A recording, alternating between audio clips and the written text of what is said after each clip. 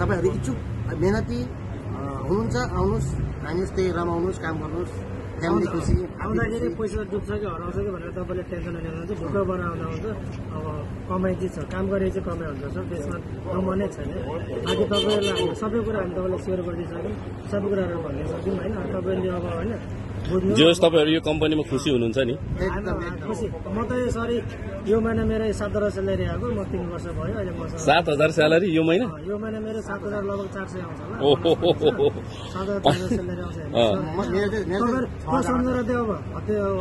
होइन नि जोस् मेहनत हुनेलाई कमाइ छ। तपाईँले पनि चार वर्ष मेहनत गरेर त सात हजार कमाउन थाल्नु भएको छ नि होइन?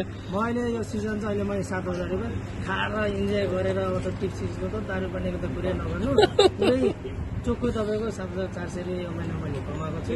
काम गर्दाखेरि पैसा छ ढुक्कबाट तपाईँहरू आउनु कुनै डोमन अब ड्युटी सुरु हुन लाग्यो भर्खर आँटेको हेर्नु अब एक मनमर्जीको ड्युटी छ यस्तै छ। ओके तर तपाईँले पैसा चाहिँ कमाएर दिनुभयो। ओके